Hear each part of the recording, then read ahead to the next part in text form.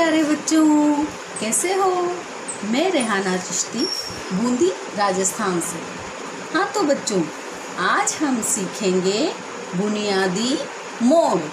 लिखना सीखने के लिए हमें सबसे पहले ज़रूरत होती है बुनियादी मोड़ सीखने की। तो शुरू करें। हाँ तो प्यारे बच्चों, हम सबसे पहले सीखेंगे सीधी लाइन बनाना। तो आप भी मेरे साथ साथ प्रैक्टिस करें पेंसिल और नोटबुक लेकर आपको बैठना है और ऐसे यहाँ से शुरू करके यहाँ ख़त्म करना है। फिर यहाँ से शुरू करेंगे और यहाँ ख़त्म करेंगे।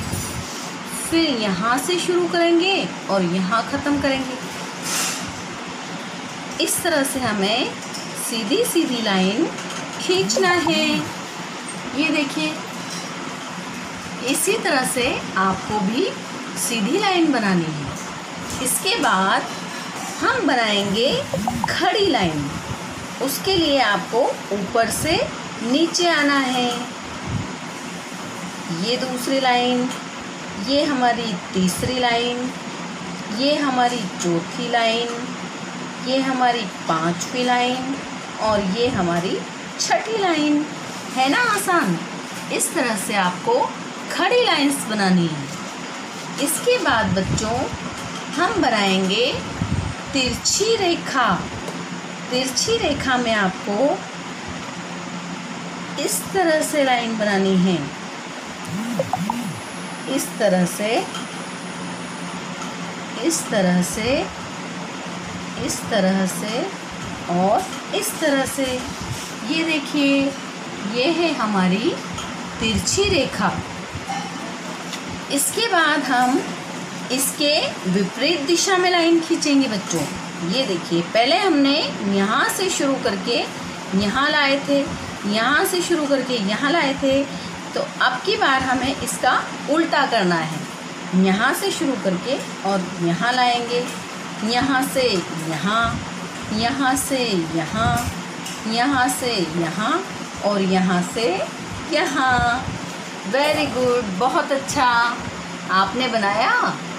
चलिए। अब इसके बाद आपने चंद्रमा तो देखा होगा बच्चों। चंद्रमा कैसा होता है? ये और इंग्लिश का सी भी आपने देखा होगा। वो भी इसी तरह से होता है। ये ये ये है बच्चों। हमारे बुनियादी मोड़ कहलाते हैं। और ये सभी बुनियादी मोड़ हमारे लिखने के लिए अति आवश्यक होते हैं। ये देखिए, ये बनाया हमने चंद्रमा, जो कि आधा है। अब हम चंद्रमा का मुँह इस साइड कर देंगे। ये देखिए, ये ये ये, और ये ये देखिए बच्चों, इस तरह से हम चंद्रमा का मुँह एक बार इधर और एक बार इधर करके बनाएँगे। इसके बाद चलो, अब चंद्रमा का मुँह हम ऊपर आकाश की ओर करते हैं। ये, ऐसे ऐसे ऐसे और ऐसे। हुआ? देखिए अब हमने चंद्रमा का मुँह ऊपर कर दिया है। अब इसके बाद हम पूरा चंद्रमा बनाएँगे। पूरा चंद्रमा कैसा होता है बच्चों? गोल, जैसे मम्मी जी की बिंदिया होती है गोल, मम्मी जी की रोटी होती है गोल, और दीदी की चूड़ी भी होती है गोल। और सारी दुनिया गोल मटोल इस तरह से बच्चों हम बनाएँगे गोल। ये गोल। ये गोल और ये भी गोल। आया? इसी तरह से आपको भी गोल गोल आकृतियाँ बनानी हैं। और इसके बाद बच्चों इस तरह से आपको एक जगह से शुरू करके दूसरी जगह ख़त्म करना है। ये हमारे चंद्रमा की गोल आकृति तैयार होती है। इसी तरह मम्मी की रोटी भी होती है। पापा जब हमें पैसे देते हैं, सिक्के तो वो भी होते हैं गोल गोल तो इस तरह से बच्चों, हम ये बुनियादी आकृतियाँ, बुनियादी मोड़ बनाना सीख सकते हैं। इसमें सबसे पहले हमने सीखा सीधी रेखा खींचना। उसके बाद हमने सीखा खड़ी रेखा खींचना। ये तिरछी रेखा, ये भी तिरछी रेखा। इसके बाद बच्चों, हमने बनाया आधा चंद्रमा।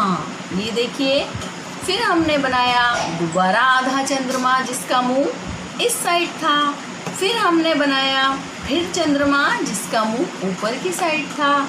और सबसे लास्ट में हमने बनाया गोल चंदा मामा। तो बच्चों, आपने भी मेरे साथ साथ ये बनाया ना?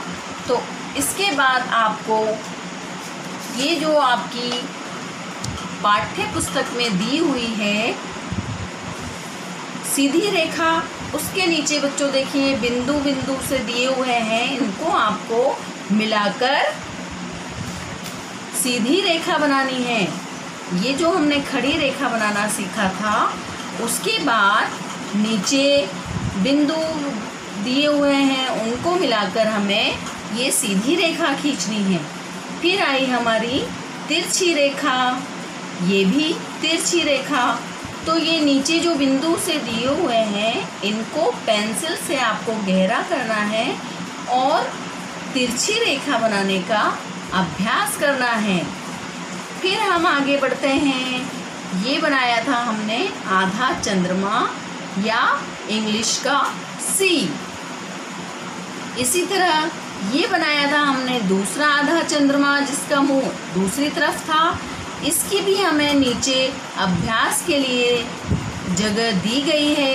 तो इन बिंदुओं पर हमें पेंसिल घुमानी है और इन्हें गहरा करना है ताकि हमारा अभ्यास हो सके। इसके बाद हमारा था जो हमने चंद्रमा बनाया था, ऊपर मुँह करके, जिसे हम इंग्लिश का यू भी कह सकते हैं। तो इसके लिए भी आपको अभ्यास के लिए बिंदी दी गई है। इन बिंदुओं को मिलाकर पेंसिल से गहरा करना है और इस चंद्रमा को बनाने का आपको अभ्यास करना है। इसके बाद हमारा आ गया गोल चंद्रमा। इसको भी आपको नीचे मिलाना है और इसका अभ्यास करना है। हाँ तो प्यारे बच्चों, आपको ये पाठ और ये अभ्यास पसंद आया होगा। अगले पाठ में फिर मिलेंगे। तब तक के लिए बाय बाय